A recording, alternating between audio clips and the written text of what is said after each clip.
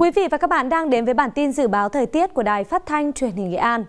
Thưa quý vị và các bạn, hôm nay nắng nóng có nơi nắng nóng gai gắt tiếp tục diễn ra ở khu vực Bắc Bộ, vùng núi phía Tây của Bắc và Trung Trung Bộ với nhiệt độ cao nhất phổ biến là từ 35 cho đến 36 độ, có nơi là trên 37 độ. Ngày mai 29 tháng 7 ở khu vực vùng núi phía Tây của Bắc và Trung Trung Bộ vẫn còn có nắng nóng. Tuy nhiên, từ chiều tối mai đến ngày 1 tháng 8 thì ở khu vực vùng núi và Trung Du Bắc Bộ sẽ có mưa vừa, mưa to và rông.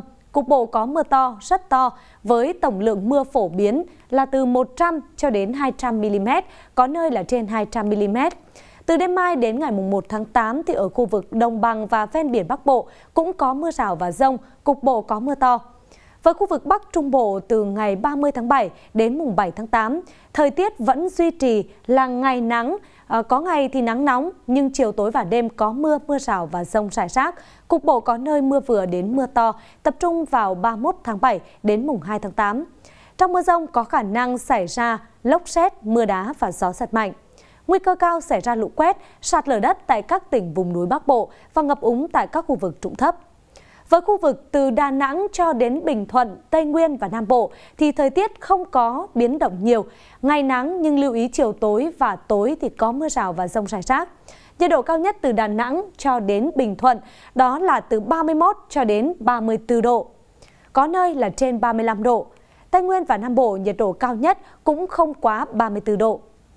Ở phần tiếp theo, chúng ta sẽ cùng đến với dự báo thời tiết các khu vực tỉnh Nghệ An đêm nay và ngày mai.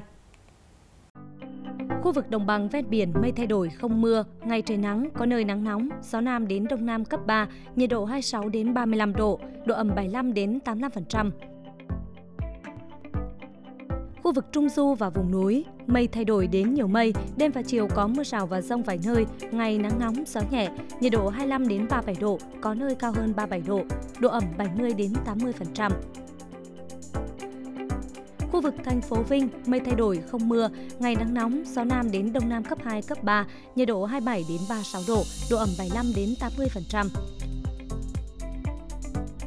Khu vực Cửa Lò và Đảo Ngư, mây thay đổi, không mưa, ngày trời nắng, gió nam đến đông nam cấp 3, nhiệt độ 26 đến 33 độ, độ ẩm 80 đến 85%. Dự báo thời tiết các tỉnh thành sẽ kết thúc bản tin hôm nay. Cảm ơn quý vị và các bạn đã quan tâm theo dõi. Kính chào tạm biệt và hẹn gặp lại trong các bản tin tiếp theo.